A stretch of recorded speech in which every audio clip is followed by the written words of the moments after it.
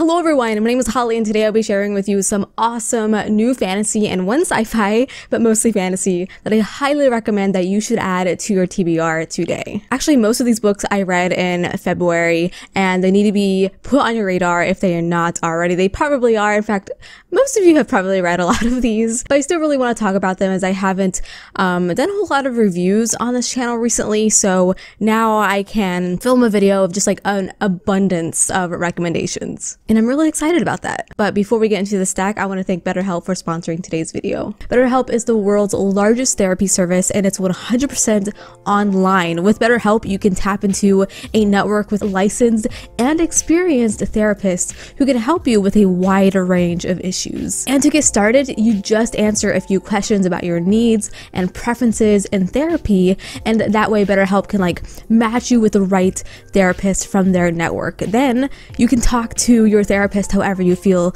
comfortable, whether it's through chat, that's definitely going to be me, or a phone call or a video call. You can message your therapist at any time and even schedule live sessions when it's convenient for you. And if your therapist isn't the right fit for any reason whatsoever, no questions asked, you can switch to a new therapist at no additional charge. So with BetterHelp, you get the same quality you would expect from an in-office therapy, but with a therapist who is custom picked for you. There's more scheduling flexibility, and at a more affordable price. Right now, you can get 10% off your first month by going to www.betterhelp.com backslash hollyheartsbooks. Or you can find my special URL linked in the description box below.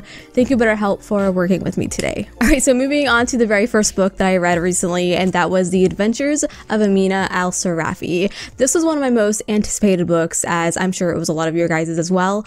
And I came out of it really surprised with a certain comparison for another book, and that is Kings of the Wyld. Um, this gave me major King of the Wyld vibes, which is one of my all-time favorite books. So this is the story of a woman who is probably in her like 30s or 40s, and she used to be a legendary pirate captain and something really bad happened to her. So she put her piracy ways behind her. She's even given her ship into the care of someone else who is a trusted confidant. And she's living in hiding with her daughter, mother, and her brother. And because they are in hiding, they are struggling for money. Um, but one day, a woman who was the mother of a former crewmate offers them an unbelievable amount of money to find her missing granddaughter who she believes was kidnapped. And if Amina is like somehow able to find her whereabouts, she gets paid, or if she gets her back safely, she's offered this like huge treasure trove pretty much. So as a reader, the whole time you're reading, you're just like rooting for these characters because this money would guarantee them stability and comfort for not only Amina, but also her family um, generations to come. And you know, it's like also the promise of one last grand adventure. So she has to like get her old crew back together and go on this quest. So that's like the little little tease for the plot. And I had a really fun time with this one. This is my first book by this author. I never picked up City of Brass. Um, no matter how many times I said I was going to read it, um, I never got to it. It still sits on my shelf unread, but this gave me an idea on what to expect, and I am really impressed. I love the writing, the way the characters were written, and even the dialogue. Um, it was so fluid and easy. The story itself was really fun. It definitely had its like slower moments, but I know to appreciate that sort of stuff as a fantasy reader. I love build up. In fact, that's typically why I enjoy the first book the most out of an entire series. And the way Chakraborty wrote atmosphere here really set the scenes with like such a light hand. Nothing ever felt heavy like some adult fantasies can, I could picture things so vividly and the setting came to life perfectly. I gave this 5 out of 5 stars and I highly recommend if you, if you are new to this author or you love this author already and just haven't picked this up yet, then for you I definitely recommend. Next up I have The Unbroken. I finally read this after staring at it for a year, but I was motivated to pick it up because the sequel comes out this month, which I plan to read if I haven't already um, when this video goes live. This is a fantasy series called The Magic of the Lost and we follow two characters. One is technically heir to the throne of this like colonial empire empire and the other is someone who has been taken from one of the colonies as a child to be trained as a soldier for the Empire. But for this character, at the very beginning, she is sent home with a bunch of others to basically beat down a rebellion. So she's starting to have to deal with like split loyalties and all that drama and intrigue. It is a high fantasy, and that's exactly what I signed up for. It's exactly what I got. It is very brutal, so I'd include some like dark fantasy in the mix with that as well. Um, this is one of those books where if the beginning doesn't quite reel you in, I recommend sticking with it and getting to some of the juices because I was the same. I was a little wishy-washy at first, but it started to pick up for me um, actually toward the middle, which is actually a really long time. Typically, I will DNF a book pretty quickly, but um, I felt like the the hope in this one. And I ended up really really enjoying it to where I am now excited to read the sequel for all of the black lesbians, the political intrigue, backstabbing and I still don't know which side that I want to go with, even though the answer seems obvious, but I'm like super skeptical. And if you've read this book, you know exactly what I'm talking about. And Touraine, the beautiful person on the cover, one of the main characters is someone I love, but I also want to like punch in the face. She leads with her heart and emotion, but is written in a way that I can like be okay with that. And then you have two sides of the same coin. There's Luca, the princess, who leads with her head. I think if you are a big fantasy reader, you should have this in your collection. I gave it four out of five stars. Next up is another newer release, and that is The Magician's Daughter. This book is like okay, if you have like Howl's Moving Castle and a little princess and they had a baby.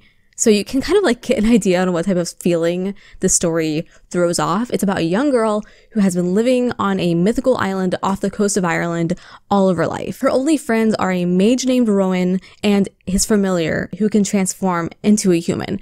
And for all of her life, this is all she has known until one day Rowan tells her that the magic in the world has pretty much died, and he needs her help to confront the council who hoards magic for themselves, those damn greedy bastards. and she has a little special bit of magic in her heart, and Rowan needs it to lure out the council and get some answers. Um, so she journeys off the island for the first time and heads to London. It's like a fish out of water story, but I found it to be like a great palate cleanser and refreshing and very magical, whimsical. I did enjoy the first half more than I did the second, which makes sense as I'm not like the biggest fan of magical realism, but overall, I'm very happy to have experienced the story. It's slower paced for sure, but it's written very well. I've always wanted to read from this author as I've only heard great things, and now I know what to expect from her um, from her other books. I gave this four out of five stars. It's a great book to cozy up to. Oh man, this next book is a very exciting one that I finally um,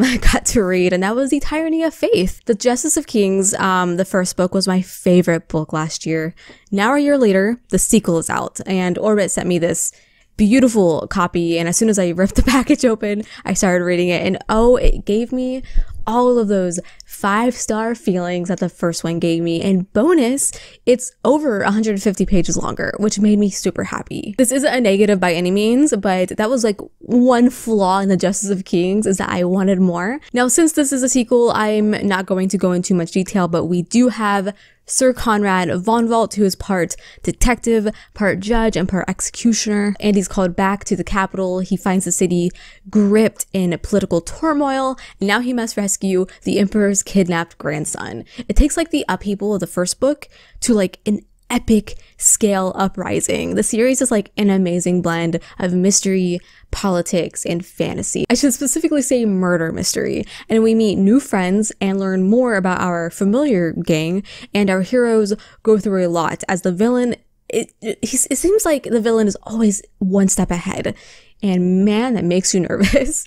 Um, Swann continues to reveal new horrors that I think any like horror reader is going to love. And I can tell like Swann had a really fun time writing those scenes. I highly recommend you don't miss out on this. It's like the hot trendy fantasy to read right now and well worth it. Five out of five stars easily. And finally, um, I have a sci-fi here, and that is The Scourge Between Stars. This is the most recent book that I finished, and though it's not out yet, it's actually the only book on this list that isn't out. It releases in April. I really wanted to bring it to your attention. I had pretty high expectations for it as someone who loves the Dead Space video game series. The story here sounded very familiar. It's also like easily comparable to the Alien franchise. It's a sci-fi novella and it was great. It's about the last humans of a failed colony who are heading back to Earth. And the ship they are on is in really bad shape and it might not make it there. So you already have that like intensity of that. And then there's a murder. And then another and then another. And they get a warning from another ship to not open the door. It's a very fast paced story that makes you want to keep turning the pages, even with the length. As always, I think this would have benefited a lot if it was a full length novel. I feel that way about every novella though um, you were on the edge of your seat just like the crew you're reading about there are great action scenes this is Ness Brown's debut novel, I believe, and I can't wait to read more from them. This comes out um, April 4th, I believe. I don't think the arc has a specific date on it. It just says April, but I think it's the 4th. I gave this 4 out of 5 stars, and I really enjoyed it. It's adult, by the way, not YA. Thought I would mention that.